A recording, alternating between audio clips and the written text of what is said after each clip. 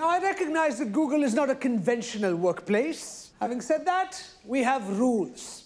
I'm going to ask you a series of questions. You are going to raise the green paddle to indicate yes, and the red paddle to indicate no.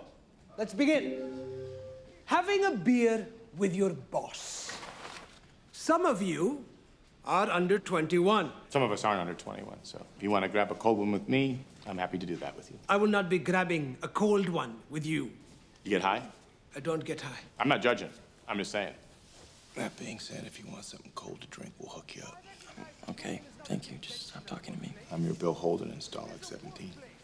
I don't even, I really don't get that reference. Google it. Got it. Dating a fellow intern. This is Google, not Match.com. No, that's frowned upon also? So we'll say no to love. We'll say no to love, yes. It's gonna be a no. Is a one night stand considered dating?